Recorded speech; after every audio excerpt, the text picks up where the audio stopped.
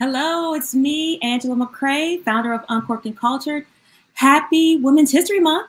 Um, I'm so excited to kick off Women's History Month with a woman that, you know, I've been following her journey in wine. Um, you know, she's really creating groundbreaking work in diversity um, in South Africa. Um, and Ntsiki Biyela, uh, I'm so excited to bring her in. So let me get her in here now because, hey, Ntsiki, how are you? I'm good, and how are you, Angela? I'm good. Happy Women's History Month. Thank you, thank you, and happy Women's History Month. Thank you. So, just kind of, you know, right now it's evening there, right? What is it? Uh, seven o'clock. It's yeah, it's seven o'clock. so, so, so, uh, you know, tell me what this is harvest season for you. So, you, this is a busy season. It is a busy season. Um, it's exciting. I can say that. I think harvest is a festivity. It's a time of festivity. It's um it's exciting. It's new wines. It's new production. Um everything is just alive.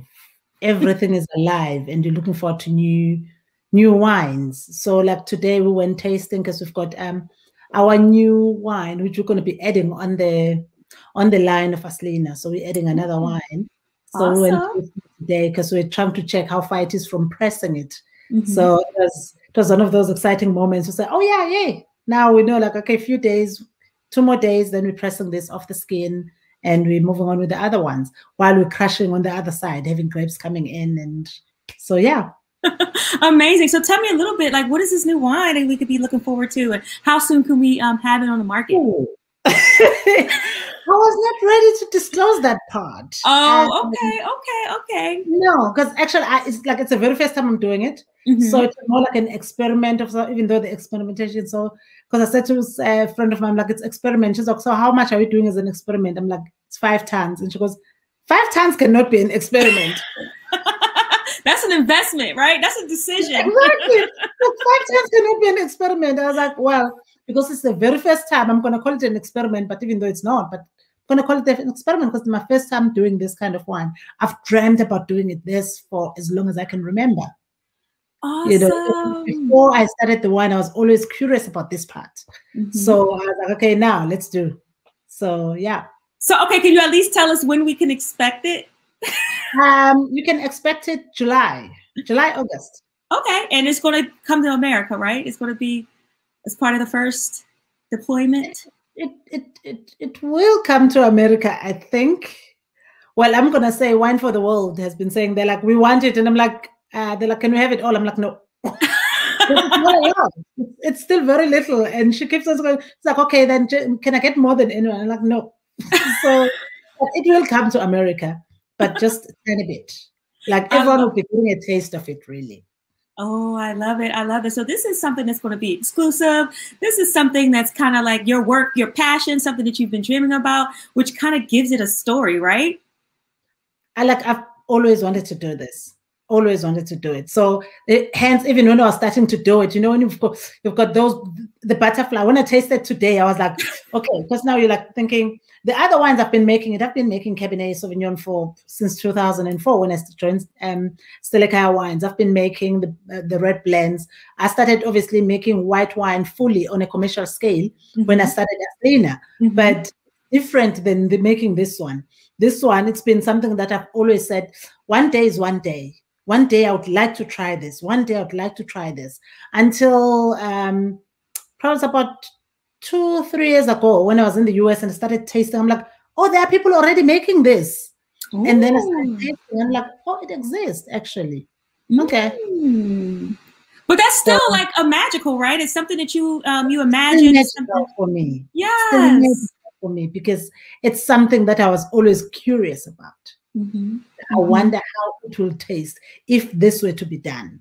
Mm. And so I'm finally doing it. So I was like, okay, cool. Let's see congratulations. I mean, we definitely wish you the best on that because we want to make sure that we have some, right? When it comes to the United States, and you can make another five tons, another 10 tons. And this is something that we can continue to see as part of your line. So, yeah. I, so one of the things that I think, you know, for some of the viewers who may not have tried, you know, Aslina wines as of yet, right? This might be their first introduction, right? I mean, I've had your cab, I've had your Asami, I don't know.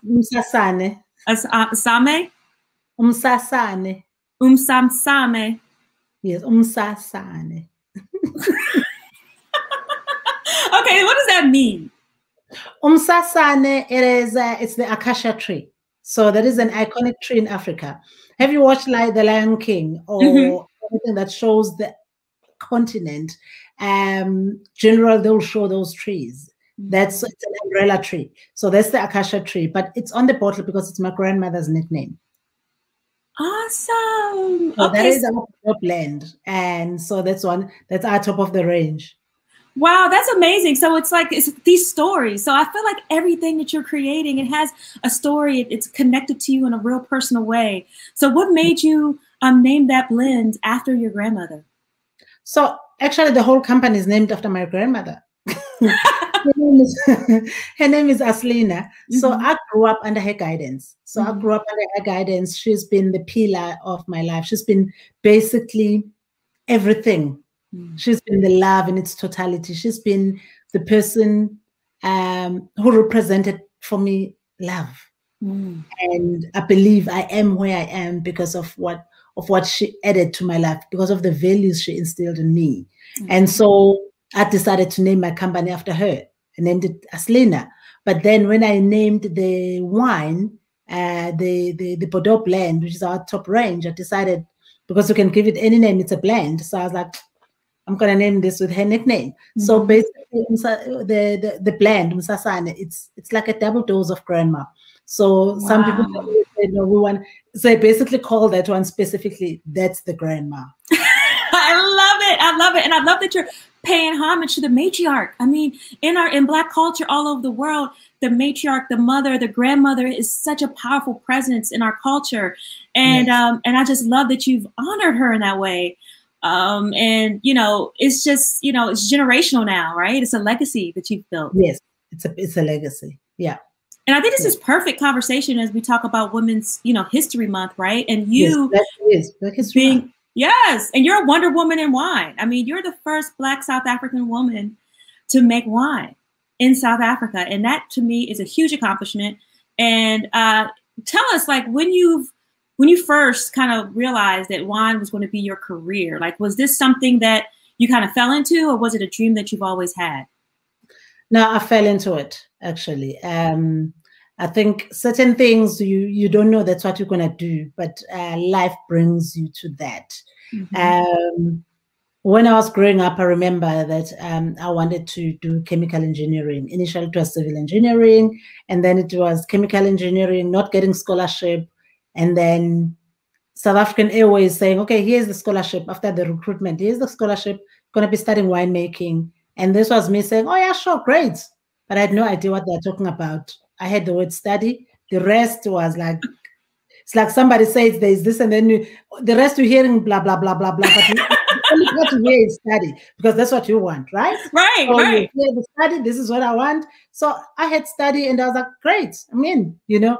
So um, basically that's what happened. That's what happened. And then I came to the industry and realized that it was a completely different space, mm-hmm. completely mm-hmm. different space than what I knew, and dif- different space from where I come from. And I had to navigate the space that I didn't know and try and make it my own space and try and make myself comfortable and adapt in a way in the space. So those were the things that basically I encountered when I got to the to the environment because I'm from a village and coming from a village, you get to Stellan village, you don't see any white people. Right. All of a sudden, coming to a place where it's like a sea of white people, and then you're like, what's going on here? And then you're there and then you're like, oh shucks, I can't even hear what they're saying. And you're like, oh, okay. Complete so, culture shock. Culture shock, language, you name it. They, they'll crack jokes and everybody laughs and you look around, you're like, until it came to a point we decided in class, whenever they crack jokes and laugh, and then you laugh along. And then like, you just like go with it. And some and some of the students like, oh, you understand? They're like, nope. You guys are laughing. You're just doing the right thing, right? You're just trying to fit the I'm just doing the right thing. Everybody's laughing, so I might as well laugh. You know, yeah. let me do the right thing. Let me. So yeah. So you know, it's interesting because you mentioned about growing up in the village, and um, you know, I around this time last year, I was just returning from a trip around Africa when I went to 6 mm-hmm. different countries. I had a chance to come to South Africa, and I went to Kenya, and I was with the um, Maasai tribe, right? Oh, and they're gorgeous. Oh my gosh, the you know the, the, the weaving, the you know the clothes, the beads, everything was beautiful, but the interesting thing is that we actually spent time in the hut, in the liquor hut with women that actually made the, the liquor, you know, and the wine, mm-hmm. you know, the wine, the liquor, the, you know, whatever it is that they make in the hut. And that, and that's was their role in the community right? And it just makes me think about even like my family roots. You know, my grandmother, she owned a, a nightclub in, in Washington, D.C. She, you know, yeah. served alcohol. My great grandmother, she, during Prohibition, she made illegal, you know, corn, you know, bootleg liquor for the community. And so yeah. I feel like there, there is some roots, you know, in Black African culture when it comes to this lifestyles. Yes, but I remember, I think especially I'll speak in the context of the um, of our side is that traditionally we cannot have events of talking to the ancestors without traditional beer. That's not going to happen. Mm-hmm. If you do it without, you might as well don't do it because. so that's part of it. It's part of it. It's the big part of it. Mm-hmm. You may not have slaughtered a goat, you may not have slaughtered an animal, but this part of having liquor, traditional liquor, it is part of it. Mm. Mm. So it is a historical tradition. Besides looking at obviously the European style alcohol that we're using now, but our traditional beers, that was what was basically the core part. Wow, wow. And so for those traditions, I mean, you know, you mentioned you honored your grandmother. Is there any other things from your up, you know, your upbringing that you've brought to Aslina Wines, um, whether it's community with your staff or whether it's you know something that you do during the harvest season. Like, how have you brought some of your culture to your winemaking style? I think you know um, everything ferments. When we make the traditional beer, it ferments. Wine ferments. So um, I had made traditional beer when I was growing up. My grandmother taught me how to do it.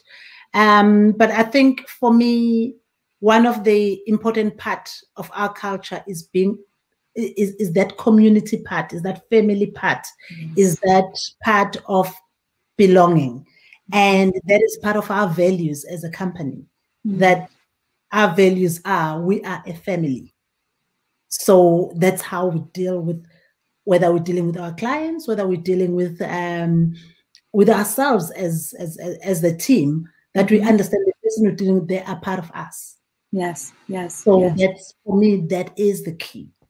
Because is. that is part of the tradition again, to say our community, this is how we grew up. Mm-hmm. You know, value that part of the other person, respect that other person. They are part of you, they are who you are. Mm-hmm. And yeah. it's authenticity at the end of the day. It's allowing you to be comfortable in your skin. You know, you talk yes. about going into an industry where you were the only one, you were an outlier and you know and how did you navigate that like you know you talked about you know just playing along and you know just kind of going with the social cues but you know as i'm sure as you got you know more into it and as you grew and as you become more successful new challenges are came into play can you kind of talk mm-hmm. about some of those so I, I, think when I started, a friend of mine, um, there's a friend of mine, Neo Letuma, she used to say, we're still students at that time. She goes, see and be seen. That was her motto.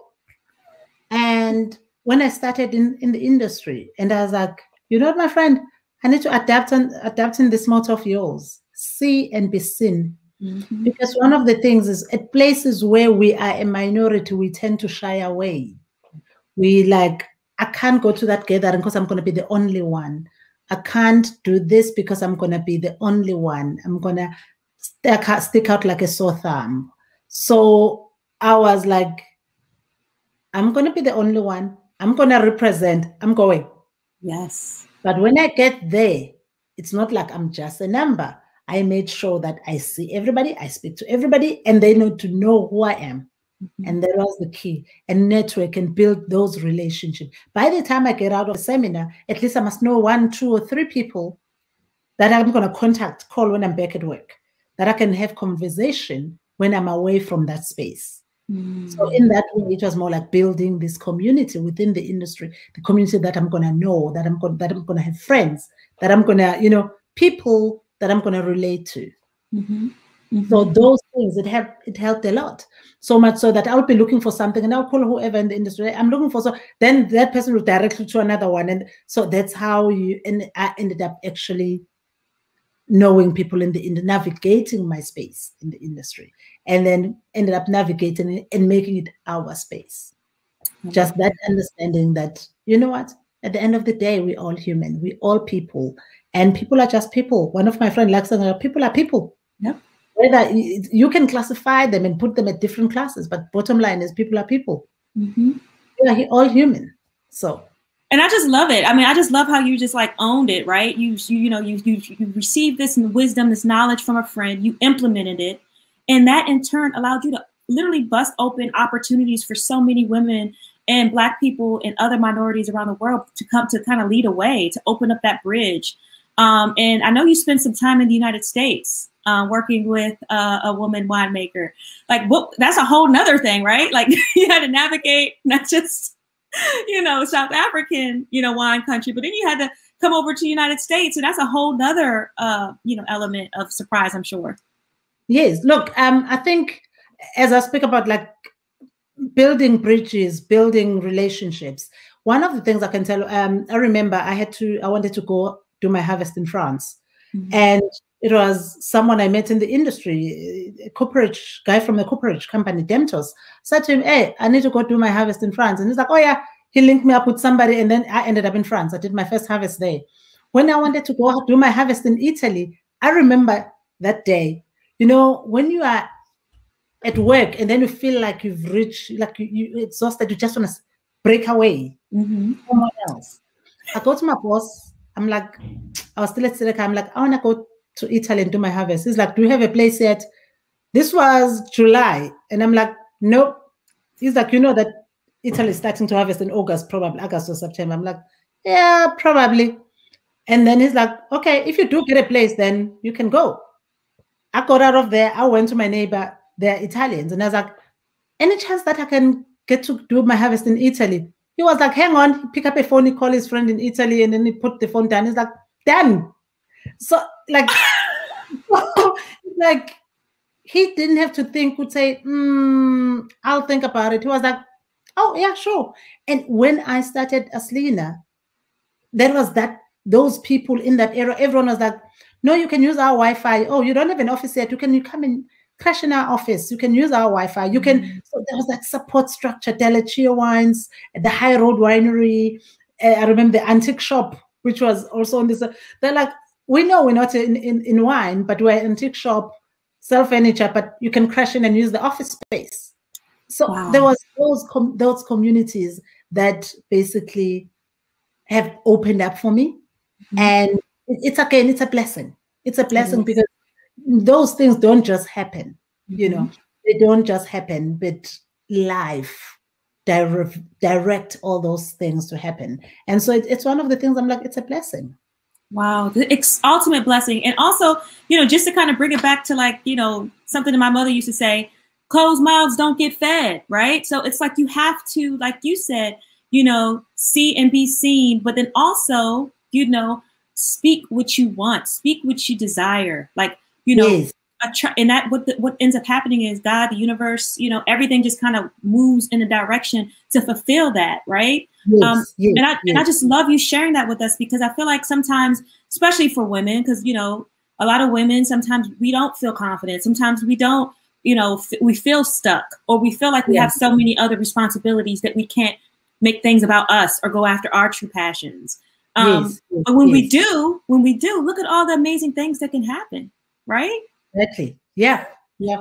Yeah. And, and of course it's and then you talk about like you know building a connection with women all over the world like you know, how has that been? Like we're, you know, being a part of the Woman Winemakers Collective, because you know, I'm sure it's a collective of women that talk and get together and kind of share stories. Like, you know, what is what has been that like? You know, being a part of this, you know, this distinction.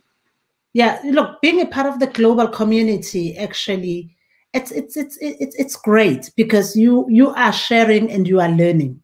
Mm-hmm. You know, you as you share, you learn in the process, and and just to know that it also helps you as a person in the space you're in to understand that we all have the same issues. We all have the same um, not same ways of solving issues, but we actually can have the same problems but solve them differently depending on where we are. Mm-hmm. So th- those things for me, it's it's been an eye opener to say actually, you know what, we all have we're all fighting the same battle. Absolutely. It's just that we deal with it in different ways and we approach it in different ways and we we we also shouldering each other to say, you know what, I know what you're struggling with.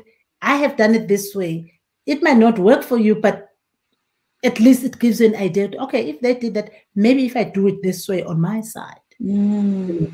So, so you got to you can kind of pick and choose like some of the experiences of other people, some you yes. know uh, challenges and how they've addressed it, and kind of figure out what fits for you. Yes, customize yes. it for yourself. Because there's no one size fit all.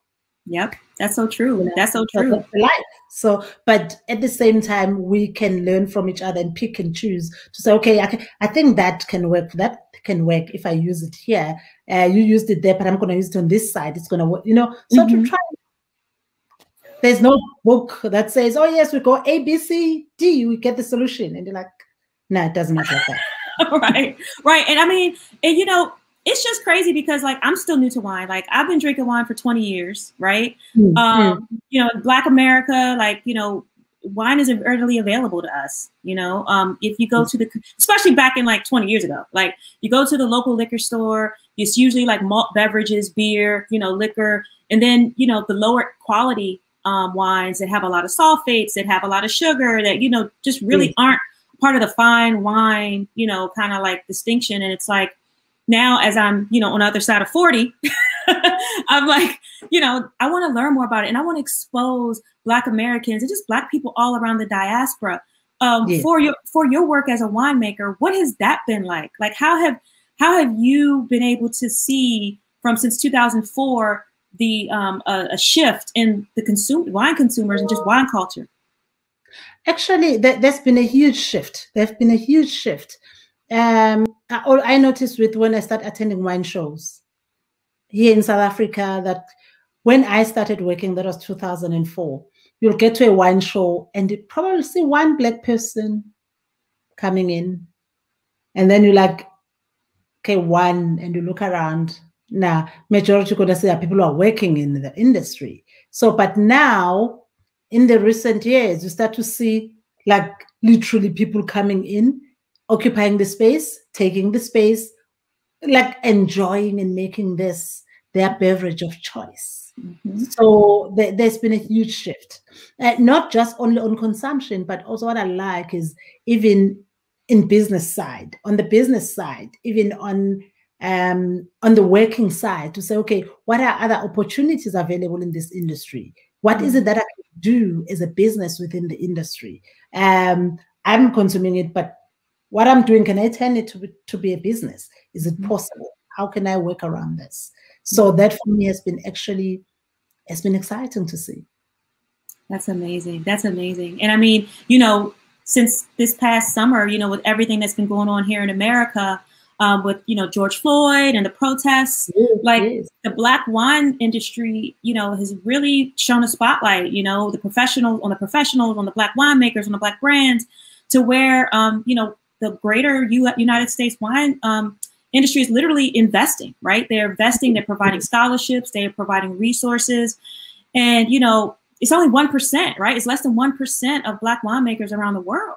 And, and so being in a country like South Africa, where it's like 80, 90% of the population is, is Black, like, how has that you know that story been told because south africa is one of the old world countries right wine's been being manufactured and produced since the 1700s, right? Yeah, since yes, since like over 300 years. Yes, the one been produced in South Africa.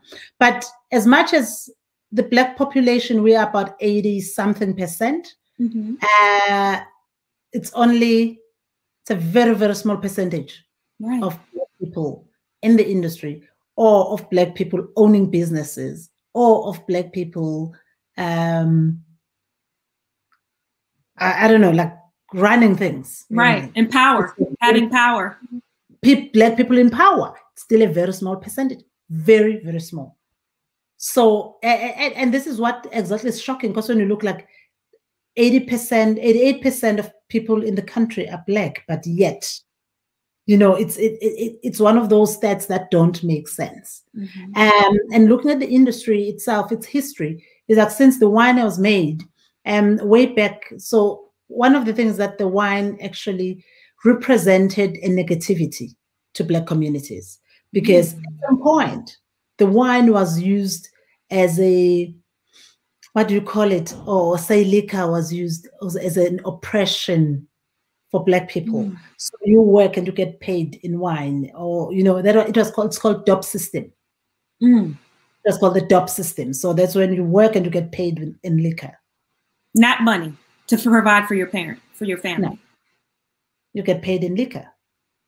So mm. you probably get a little bit of money to buy a little thing, but majority you get paid in liquor, which creates addiction, right? Creates addiction, messes up the so, the society. So basically it's basically building this you're not really you're breaking down the society because that's how it ends up being so yeah wow, wow. and were black africans south africans also working in the you know harvest or were they the primarily the laborers um throughout the history of the yes yes primarily laborers so it's only again recently in current years that obviously post um, 94 that now people will find them in management in the wine industry. Since 1994? Like it was obvious from 94, that's when it was open. When the country wow. opened, then we knew there's a now we can we can work in the industry, we can study. And this is apartheid. This is post-apartheid. You're, you're post-apartheid. So post-apartheid, then things opened up. So we have a question here. Um, someone asked, has a history of apartheid in South Africa's history with alcohol affected your business? And no, no. I think um because my company started about what 2016.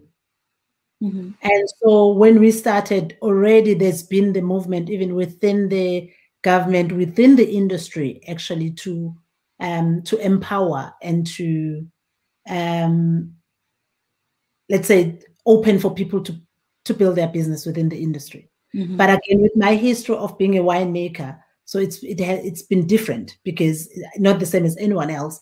I've started as a winemaker. I had built those relationships. So by the time I started making my own wine in the industry, um, it, people have been waiting for it.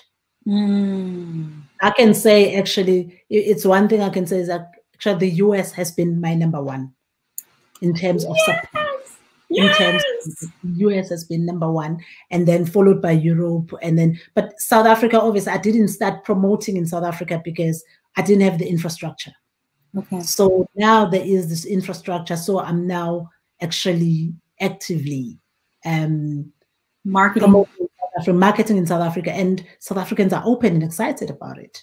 Well, now this is now this right here is so interesting to me because when I was in South Africa last year in 2020, I had mm. a hmm. chance to visit um, Seven Sisters, and mm. I talked to Vivian. I did an interview with her, and she mentioned that her wine wasn't for sale in South Africa, and her primary market was in America, specifically. Mm.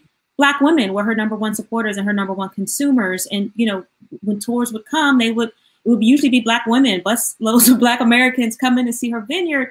And so that was so interesting to me because, you know, you would assume as a business owner that you know your first consumer base would be local you know because you know the, a global push just seems so beyond. But can you kind of give us that context of how that works?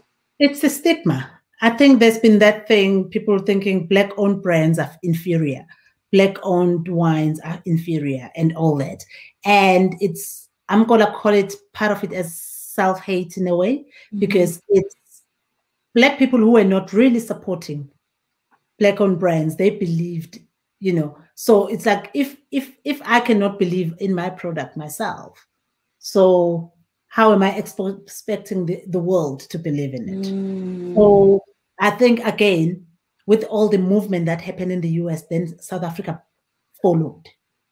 Okay.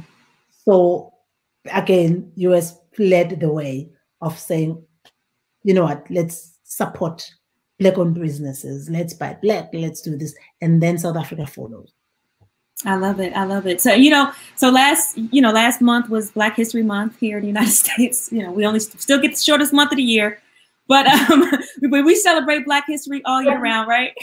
Yeah, that's what you know. Um, my, my colleague she posted that it's, it's the last day of the Black History Month, but it doesn't have to end here.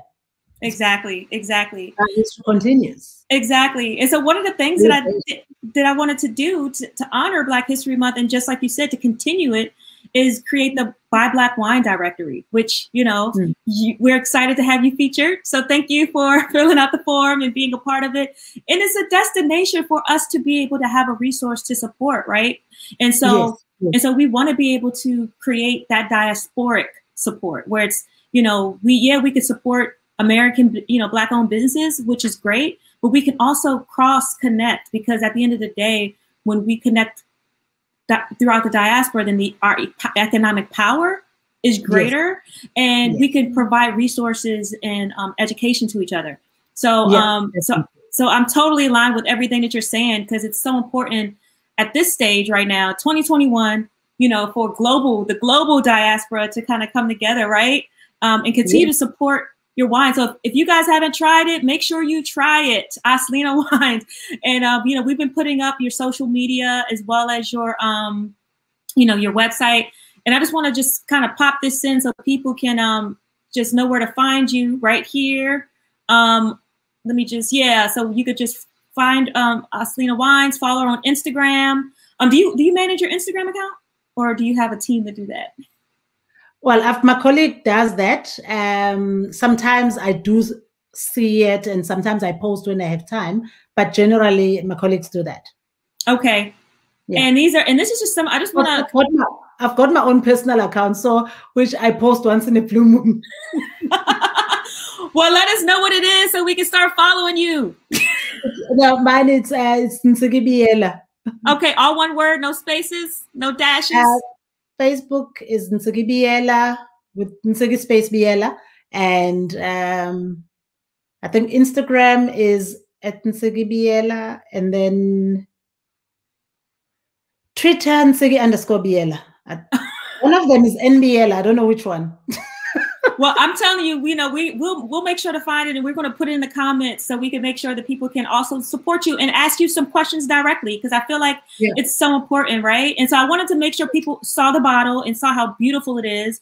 I mean, this is one of my favorite South African wines. Like I during the fall, like that's all I was purchasing from my local winery was, your red selections. Um, they unfortunately didn't have your entire collection, but whenever I go into the wine shop and I see it, I always buy it because it's so delicious. Um, yes. and and so you just you just actually won an award last month. Yes. Can you yes. tell us about that? Um, well, I was I was nominated. Okay, I was yeah, I was nominated to. It's called the what is this award called? Oh my word, this is so the bad. Diversity and Transformation Award. Yes, at the one. this is what happens. A friend of mine says, "No, that's long overdue," and I'm like, "Well," she's like, "Well, you've done this. Lo- you've been doing this since you started working." So, right. and I was like, "Yes, you're right. I've been doing this since." But actually, it's just it's the acknowledgement from the industry to say we're noticing what is happening we're noticing what you're doing so yeah and that's amazing because it's like you're as you're being celebrated amongst your peers you're you know having those distinctions i'm sure allows you to have greater visibility right um yes, yes. Uh, probably nominated for more honors and acknowledgement yes, um, yes. and also having your name written in history because that's yes. something that has you know, it's something that's long overdue. It's like we have to fight for it. I know sometimes, you know, you don't want to play the game, quote unquote, but we have to. Yes. Yeah. No, true. Yeah. so what are it's it's it's um I think with the award, there's a lot of again, you there's a lot of media there's which is what we try to get and also to be able to reach more people so that more people can know that there is an industry there are people of color they are doing stuff so i can also do it Mm-hmm. and i'll get people ask me so how do you do that why why are you doing this how can i do it myself you know and and i think one of the things i always sometimes struggle with though when people say um oh i want to do one two and three. So what tell me how tell me how do how should i do it? And my question is that what have you done so far? And then the person says nothing. And like okay. So you want me to go do research for you? They want you to do the work for them. You know so I'm like so you want me to go do research for you no it's not gonna work And so you're inspiring people too. So it's like, you know, you're taking a, you know, you're taking a priority, you're taking an initiative, and you're, you know, teaching by example. yes yes Do you have anybody that you mentor or anybody that, you know, or group of women that you have? So I, I am involved with the Pinotage Youth Development Academy. So we are training young people through the value chain of the wine industry. And the, the academy is 60 40, 60% women and 40% men. But it's 18 uh, youth of 18 to 25 years old. So they get trained through the uh, value chain of the wine industry. We do job placements. Um, there's another group right now that is working a part. Uh, they're doing a project with with Delheim. They're making their own wine. So it's the former students. They're making their own wine. So I got a message today. So how do we register a company? And I'm like, go Google. I'm like, go Google. And then once you've Googled, you're going to find the information, then come to me to tell me what you find and what you're going to do with it. And right. once that is done, then I can guide you. But go do it. I love that. It's like, it's like, hold on, So- you do the research, you do the work, then you come back to me. It's like, come to me and say, I've done one, two, and three, but I'm confused. Why? Then I'm going to come in. Yeah, yeah. And that's great. And that's valuable lesson, right? That's how you teach people because the better the best way to learn something is to do it yourself. Because if Yes, people always tell you stuff, you don't value it if it's being handed to you. Yes, and you become proud once you get it because you're like, actually, I did it myself. You know, exactly, exactly, exactly. So Yeah. um so I know because uh you know I've been in touch with Wendy Petersen from the um, South African Wine Industry Transformation Unit. yes. So yes. how how has that been? Have you been like has that how has that um I'm sure I know you're a part of that effort or Yes. they support you. So can you tell us a little bit about what that's like? I can tell you this. I think since Wendy came on board as the Mhm. manager, she does it from her heart. Like Yes. she does it from her heart. So yeah, she's um like now she's been going, they've been going around with the new chairperson, trying to find out what because they understand that it cannot be a blanketed uh, approach. So they to find out from each company what is it that you're doing, where you're going, how what help do you need? And in that way, they're going to be able to basically solve, assist people to solve their issues in different ways. So that has been actually going well. That And what's- been. And what's been the greatest value you've received from them during this time? Because I know it's been hard with the It's, pandemic. look, it's been hard. They've been also helping financially. They've been helping financially with the little they have. They've been actually helping. That's awesome. That's awesome. So you know the work, the money's going to where the work is needed. Um, Yeah. it- so what are some things you would like to see change in the wine industry?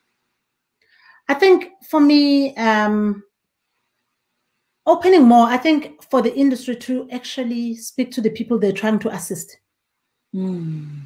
Speak- speak to the people you're trying to assist. I think one of the things that the assist the people who are assisting others or the companies that are assisting companies or institutions that are giving assistance what they do they come with oh yeah i'm going to come and do one two three for you. I think you need one two three. No. Ask the person what they need because that's the only way you can assist the person when you when they tell you what they need assist them with what they need not with what you think they need because this is where we mess up we come to you and we're like oh yeah i know you need this and you need that Actually, I need this and that though. I really need these things over for here. me my priority is this and that so that that can move me to a certain level Mhm. and then the person say oh no it's like I know someone at some point asked me, okay, if you were to get like a million rand right now, it was just when I started the company. Like if we can give you a million rand, I was like, whoa, whoa, whoa, whoa. This can I tell you what is my plan first? Because if you dump in money and you expect me to do this,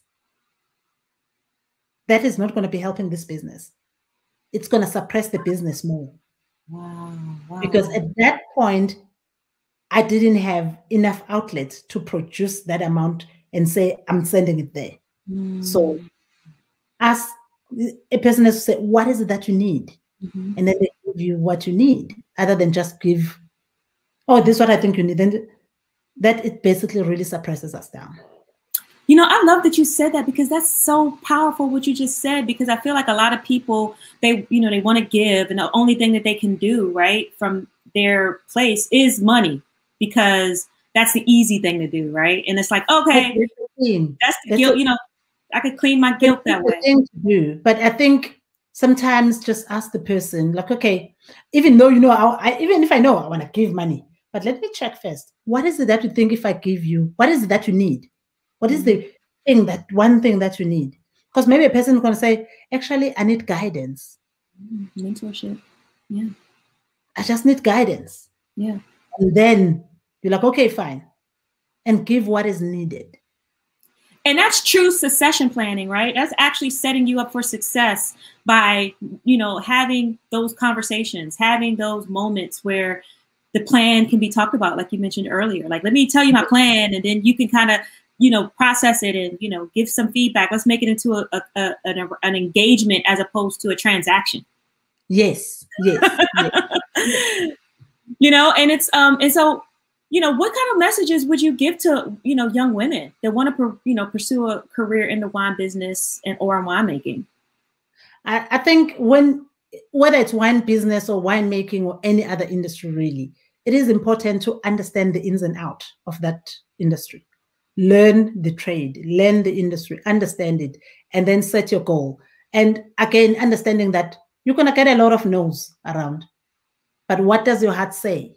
What Mm. what is it that you know in your heart? You might sometimes we want to know okay if i if my if i feel like this is what i want to do but i want to know if the t is going to be crossed facing that way sometimes you don't have to know that as long as when you know like i know it's going to work it's just that i don't know how the steps are going to be and then allow yourself to be led to get to each step Oh, I love it. I feel like I'm talking to my big sister, but I'm the oldest, so. it's a surprise i might be the oldest I'm the, I'm just saying, like out of all my siblings, I'm the oldest, so it's kind of like you know having this wisdom and just having you share it, you know, the way that you are. It's so Yeah. kind of like it's straightforward, you know. And I think sometimes when you know when you have these type of conversations with professionals, you know, usually it's talking points, it's jargon, it's you know very sometimes above the head, but you're like giving it to us straight and you're giving it to us from the heart, and that's something that is super valuable because it's something that we that can stick right with us and not just with people you know looking to get into wine but just in life right in life altogether. These are like life lessons you're sharing with us right now. Thank you.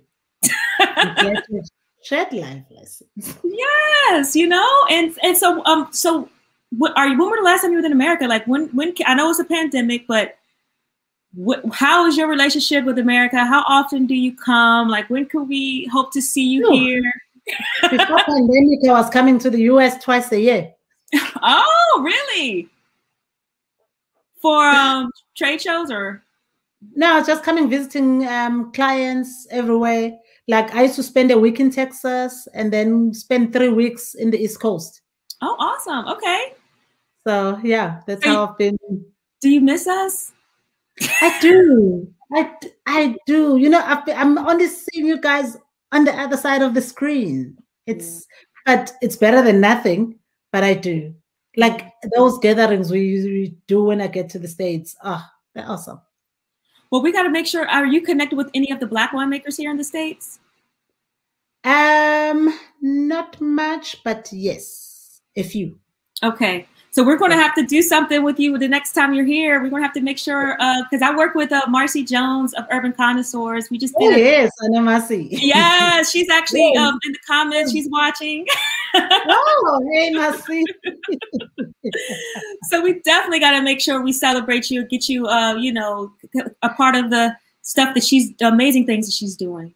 No, she's doing yes. She actually she had invited me like the the what was happening recently? The uh, International Winemakers Summit. Yes, yes. And I realized like I realized on the day I was like, if I had agreed here, because this was when I was having grapes, so leaving the cellar around 10 at night. And I was like, yeah. yeah. That was a good call that I didn't join in because yeah. Yeah, it would have been crazy. Yeah. We yeah, we actually we had a chance to partner. Um, you know, I Uncorked and Cultured partnered with her, and it was just an amazing experience. And it was my introduction to winemakers. So yes, you know, no, actually, she had invited me at some point that we were in. Where were we? One of these. Um, okay, Florida. We I met her actually in Florida where we were doing some. There was, it was a winemakers. Women, winemakers. Women winemakers. Women winemakers. Yes. Wow. Yeah. Wow. It's just a full circle, you know, and this is a small network, right? It's a it's small a, network. It's a, it's a, small network, but it's big in a way. It's a huge network. Mm. You know? mm. So yeah, now she's she's doing all this and building all these bridges so that people can cross and yeah. Well, I know you have such a busy schedule, so I don't want to take up too much of your time. I know we put out a call to action for any questions for people that are watching. So if anybody has any questions, I'm just going to scroll up to see if I see any. Um, please let us know in the comments and we will get them answered. Let's see here. Oh yeah, Marcy's saying it's the Women in Wine uh, oh, yeah. event in Fort Lauderdale. well, I'm going to tell you, I've really enjoyed our conversation, and I'm very much looking forward to visiting you in South Africa when the world opens back up. Will you help? Will you allow me to come come to your winery and maybe even help you out with some harvesting Definitely. or something? Yeah. because I feel like that's part of it, right? I love helping. I love volunteering. Yes, that is part of it. Actually, that is part of it. It's part of it to just to get to be busy with something mm-hmm. and to understand the place, the people, and you know, and the winemaking itself. Yes, yes. But I did want to ask you one question because I know you guys are at level one right now, but it's been a challenge. you guys, yeah. we're on lockdown and, you know, no alcohol sales. It's been a whole thing. And how has that affected you? Well, it has affected us. Um, we're planning to grow our local market and we couldn't. So we're now working on doing that now. Now that, you know, so yeah. Locally it affected that, but internationally at least we're not affected. Okay, well that's good, and and that's where most of your business is, so it kind of worked. Yes. Well, that's good. That's good. Yeah. Well, CK, thank you so much for joining me. I really enjoyed the time here today, and um, I know absolutely anytime. So once you release that secret that you have coming in July, I'll be yes. emailing you. I'll be emailing you, and I want to. I want to I wanna make yes, sure. What's the secret? yes, I want to know the secret. I know the Uncorked and Culture community wants to know the secret too. So, uh, you know, it'll be something for us to be looking forward to. And, and, and in the meantime, we'll definitely mark our calendars for July. Certainly. Certainly. well, thank you so much and have a great rest of your harvest, a great rest of your day. I know it's getting late there. Um, thank you. I'm full of gratitude. Thank you so much and have a great day too. Thank you. Thank you. Thank you. And so for you guys that are watching, um, just know that, um, you know, we want you to continue following uh, uh, CK and, you know, Aslina Wines and learning more about what it is she's doing in the wine world. Because guess what, y'all? Her wine is amazing. And um, if, you, if you haven't tried it, I want you guys to go check it out. There's distributors here in America that sell it. You could go to your local shop. Um, you could also purchase it online at coconoir.com which is Alicia's, um, you know, online distribution company and her wine club. Um, and so, you know, just make sure you follow um, Aslina Wines and learn more about them. They're on Instagram, Facebook, and of course their website. Um, and just know you're going to get some quality South African wine. And once again, you know, follow Ntsiki, um, you know, at Aslina Wines, as well as her personal accounts. And of course, you know, spread love. If you like what you see or heard today, please follow us on Instagram, Facebook, and of course, subscribe to our YouTube channel. You know, share, share the video because the more people to watch it, the more people to, will learn about Aslina Wines and learn about the history of her journey being the first Black woman winemaker in South Africa. Because I feel like, you know, for Women's History Month, my thing is, you know, Wonder Woman in wine, you know, spotlighting women this month that are doing amazing things in the wine industry. And of course, you can always follow me on my personal Instagram as well as Uncorked and Cultured. Um, and let us know if there's anybody you want to see. Anybody you want to see, anybody you want us to talk to. But we got some good people lined up for this month, some young women that are doing amazing things out in Sonoma and Napa counties in California um, and beyond. So um, make sure you tune in and stay connected.